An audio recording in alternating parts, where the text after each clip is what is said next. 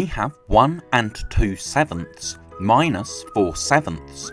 But we have a problem here, because the fraction we're subtracting is larger than the fraction in our mixed number.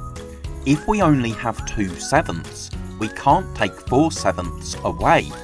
So what we need to do is change our mixed number to an improper fraction. 1 and 2 sevenths is the same as 9 sevenths, because 1 times 7 is 7, plus 2 is 9, and the denominator stays the same. So now we can subtract 4 sevenths.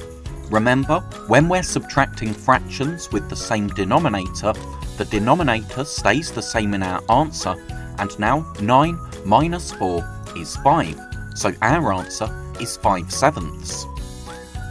1 and 1 fifth minus 2 fifths. Again, the number we're subtracting is larger, but we know that 1 and 1 fifth can be written as an improper fraction. That's 6 fifths, because 1 times 5 is 5, plus 1 is 6, and the denominator stays the same. So now we can subtract 2 fifths.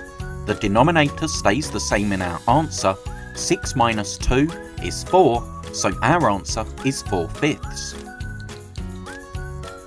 1 and 1 eighth minus 3 eighths.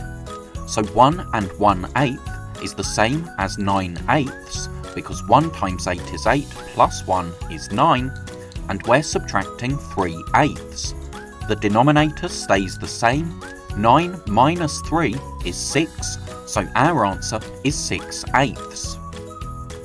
And now 1 and 2 sixths minus 5 sixths. The number we're subtracting, or the fraction we're subtracting, is larger than the fraction in our mixed number, but we can change this to an improper fraction. 1 and 2 sixths is the same as 8 sixths, because 1 times 6 is 6, plus 2 is 8. We're subtracting 5 sixths, so the denominator stays the same. 8 minus 5 is 3, so our answer is 3 sixths. Thank you so much for watching, I really hope that was helpful. If you're a teacher or a parent then please subscribe or go to keystage2maths.com to download resources for this lesson and many more. That's all for now, I'll see you in the next video.